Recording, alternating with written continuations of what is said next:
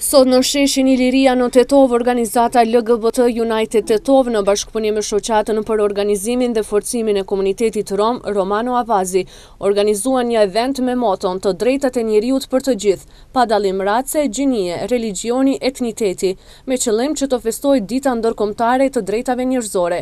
I pranishëm ishte edhe ambasadori i Holandës në Maqedoni, Wouter Plomp, i cili kishte ardhur për të përshëndetur dhe mbështetur aktivitetin e këtyre dy organizatave. Gjendem sot këtu për të mbështetur këtë aktivitet të organizuar nga organizata LGBT United Tetovë dhe Shoqata Romano Avazi, sepse jemi shumë afër Ditës Ndërkombëtare të të Drejtave të Njeriut, dhe mendoj se është shumë e rëndësishme të mbështeten aktivitetet që kanë të bëjnë me të drejtat e njeriut me të gjitha mundësitë që kemi, sepse të drejtat e njeriut janë për të gjithë njerëzit pa diskriminuar asnjë prej tyre. Në veçanti më pëlqen shumë fakti që këto dy organizata si LGBT United Tetovë dhe Romano Avazi këtë eveniment për të drejtat e njeriut e kanë organizuar së bashku, sepse të drejtat e njeriut iu takojnë edhe këtyre dy grupeve, dy organizatave, dhe ata nuk duhet të diskriminohen sërish, por duhet të gëzojnë të drejta të barabarta si gjithë të tjerët. Prandaj Ambasada e Holandës sot me prezencën e saj në këtë event dëshmon qartë se mbështet të gjitha ato aktivitete e evente që kanë të bëjnë me të drejtat e njeriut,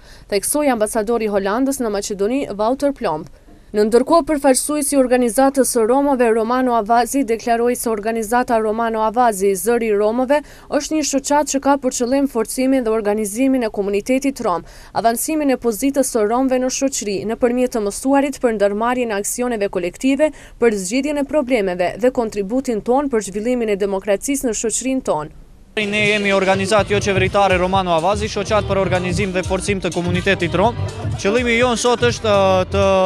të festojmë ditën e të drejtave të njeriut. Protesta e sotme nuk kishte përkrahje nga qytetarët.